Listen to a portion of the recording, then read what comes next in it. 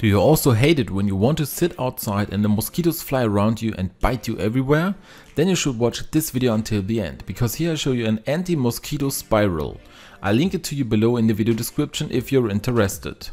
You can set up such an anti-mosquito spiral outside and ensure that the mosquitoes definitely stay away. This is because it contains ingredients that repel mosquitoes or they develop a mosquito repellent smoke. For this, there are such small holders here where we can put this mosquito spiral once on it. Now you can place it outside on the patio and where you want to sit. Then you grab a lighter and light this spiral at the end. It will take a little while, then a flame will appear.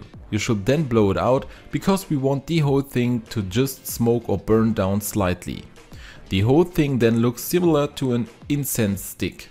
It also smells like you're burning an incense stick, so for us humans it doesn't really smell unpleasant. However, the mosquitoes don't like this smell at all and will stay away.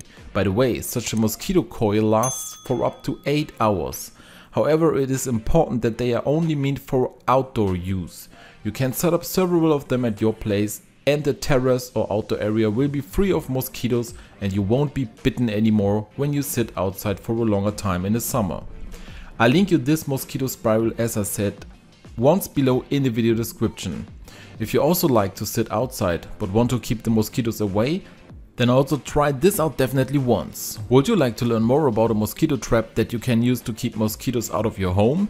Then take a look at this video which I linked to you here. If you liked the video then I would be really happy about a thumbs up and don't forget to subscribe to this channel and activate the bell so you don't miss any new video.